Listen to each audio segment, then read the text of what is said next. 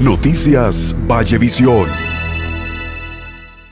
Sí, andamos recogiendo estos animales que están en el medio, evitándole problemas a los carros y a los vehículos, a los choques, eso, porque no estén chocando los, porque andan locos.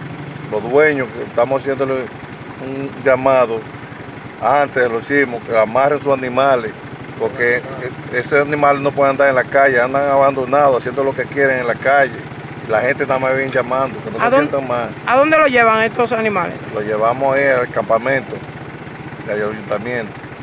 Allá lo tenemos, ya le pongamos una pequeña multa para que vayan cogiendo, de lo contrario después no se lo vamos a dar, lo vamos a, subatar por ahí. Gracias. Noticias Vallevisión.